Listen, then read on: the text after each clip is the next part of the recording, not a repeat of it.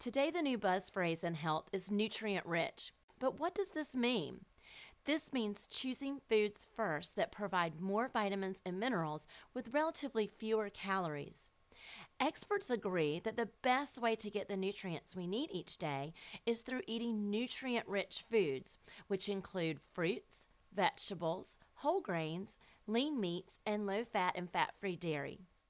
Milk and other dairy foods contain nine important nutrients, including protein, calcium, potassium, riboflavin, niacin, phosphorus, and vitamins A, B12, and D.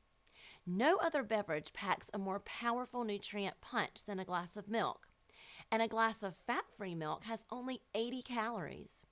That's a lot of nutrition for very few calories. And in tough economic times, we need all we can get to get the best bang we can for our buck. When I'm asked why dairy is important, I tell people that as a dietitian, I know dairy foods have been and will always continue to be critical for good health. In addition, dairy's role in a healthy diet has long been established by the nutrition and science communities. So raise a glass to good nutrition and taste and lower your risk for osteoporosis, obesity, and high blood pressure.